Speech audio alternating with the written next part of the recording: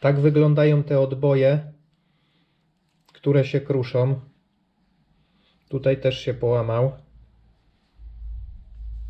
Także to jak najszybciej, nawet na nowym motocyklu, no może bez przesady, żeby tam kawałek się przejechać i też zaraz po zakupie się nacieszyć, ale żeby już tak naprawdę zacząć jeździć tym motocyklem, jeśli on nam się spodoba, nie mam zamiaru go sprzedawać, moc nam odpowiada, to trzeba kategorycznie od razu to wymienić, zastąpić to metalową podkładką. Najfajniej można by u tokarza takie coś dorobić, ale to są dodatkowe koszta. No u mnie na przykład tu w okolicy ja nie znam nikogo, żeby ktoś miał do tego dostęp. Także ja stosuję takie, o jak tutaj są, mam nakupowane tego dość sporą, sporą ilość, podkładki metalowe w ocynku. Zakładam dwie i to jest grubość około 5 mm, coś koło tego. Także te podkładki w zawieszeniu zostają, zostaną dożywotnio. Prędzej moim zdaniem wszystko inne się rozsypie, niż coś się z tymi podkładkami stanie. Ważną kwestią jest, tutaj mamy uszczelniacz,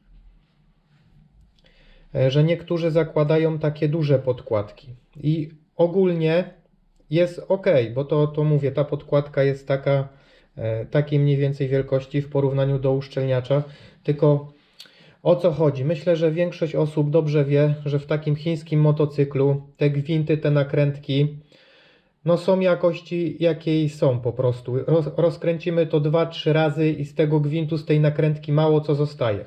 Jeśli włożymy taką dużą podkładkę, zobaczcie. No uszczelniacz, trzeba to znowu odkręcać, wyjmować te podkładki, odkręcać tą nakrętkę kontrującą. Ona, mówię, jest no, ze słabej jakości materiału Także myślę, że za każdym razem jakby wymieniać uszczelniacze jest bez sensu to robić, bo zobaczcie, tutaj uszczelniacz nie przechodzi, w środku mamy jeszcze e, półksiężyce, takie podkładki, zabezpieczenie Zeigera i to wszystko nie chce przejść przez tą podkładkę.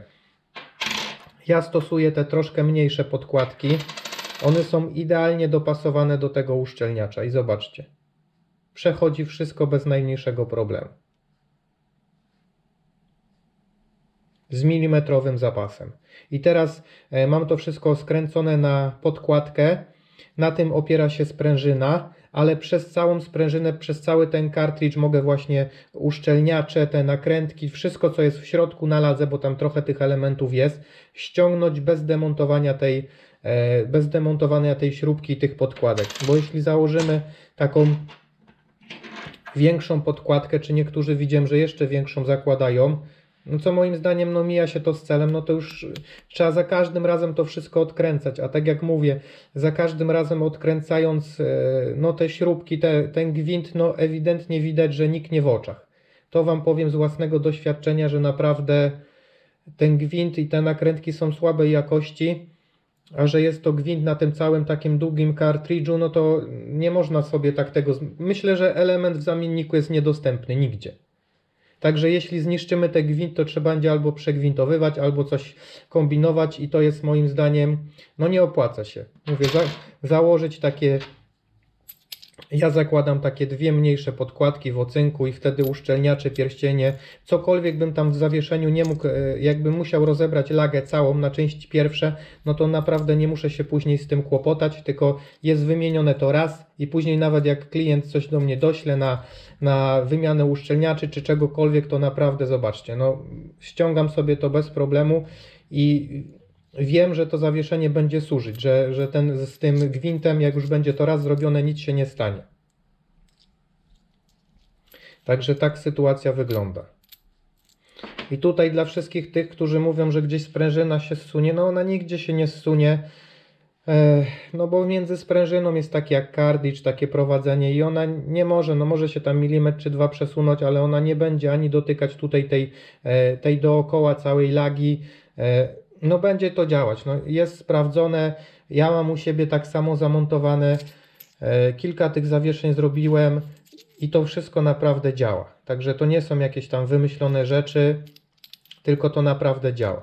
Robi się to raz i jest święty spokój. Jeśli pilnujemy oleju, zmieniamy go co 50-60 motogodzin, e, czyścimy po prostu lagę, żeby nie, e, tutaj goleń dolny lagi, żeby po prostu nie zaciągało tego piachu, syfu, niczego, to z tym zawieszeniem naprawdę się nic nie dzieje.